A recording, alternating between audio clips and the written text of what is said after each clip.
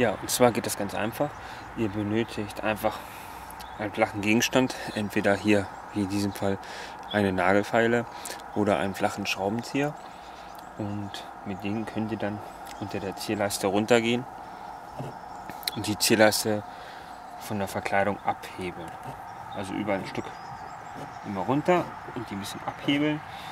Ähm, empfehlenswert wäre vielleicht, dass man die Nagelfeile oder diesen Schraubenzieher mit einem Lappen schützt, dass ihr euch keine Kratzer in diesen Kunststoffverteilung reinhaut. So, und dann könnt ihr das hebeln. Wie gesagt, Vorsicht geboten, da die Zielleiste mit kleinen, ähm, ja, so kleinen Bolzen gehalten sind und die können ganz schnell abbrechen oder kaputt gehen.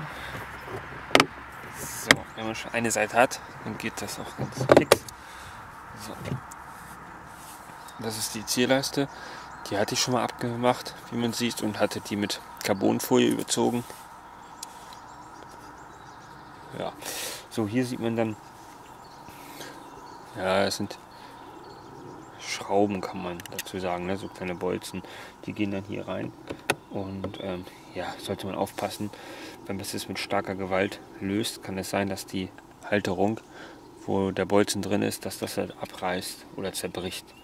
Und dann habt ihr dann an diesem Punkt keine Halt mehr. Also das würde dann wackeln oder eventuell dann quietschen, wenn ihr auf Feuer fahrt. So, montieren ist genau das gleiche wieder. Also ranstecken. Hier sehen wir hier einen, jetzt einen kleinen Haken, der da reinkommt. Und dann könnt ihr das draufstecken. Und mit leichten Druck oder Schlag wieder draufsetzen. Ja, ähm, das funktioniert so in allen vier Türen und auch in, der, in den die Interieurleisten äh, am Armaturenbrett werden auch so gelöst. Aber wie gesagt, mit äußerster Vorsicht rangehen, weil äh, wir wollen ja nichts kaputt machen.